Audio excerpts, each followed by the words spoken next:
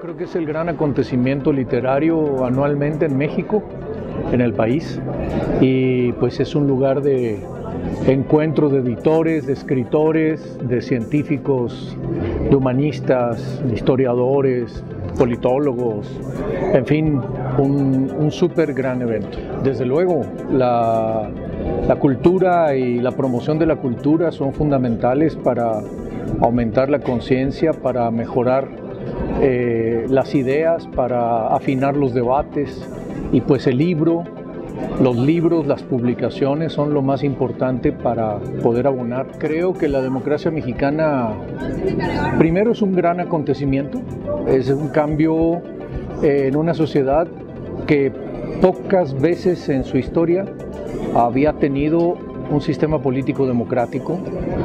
De hecho, creo que no alcanzamos todavía a cumplir ni siquiera dos décadas y media, sumando toda nuestra historia independiente. Eh, por lo tanto, es una democracia muy joven. Eh, es una democracia que recibió en el inicio de su eh, establecimiento un impulso muy fuerte por parte de la sociedad civil, de los grupos más informados y más ilustrados de la sociedad pero que por desgracia han perdido unidad y han perdido capacidad de influir en esa democracia tal y como se ha configurado más recientemente. Y yo creo que eso es muy importante para reflexionar y para recuperar. En el ámbito de la clase política yo creo que hay necesidad de una reforma del sistema de partidos para que tengan mayor apertura hacia la ciudadanía.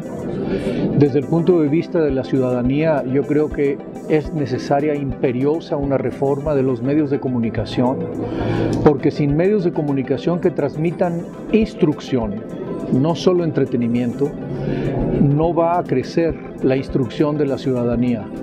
De por sí tenemos un sistema educativo eh, muy deficitario para eh, formar ciudadanos, ya no se diga técnicos, ya no se diga universitarios, sino simplemente para que el promedio del ciudadano mediano, como le llamamos los politólogos, tenga un nivel de instrucción lo suficientemente eh,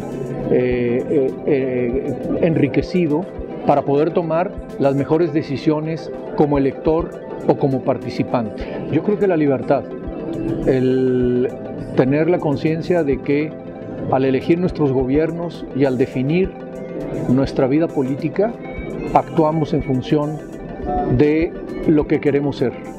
Y no hay nada más importante en la libertad que la posibilidad de afirmar lo que se quiere ser.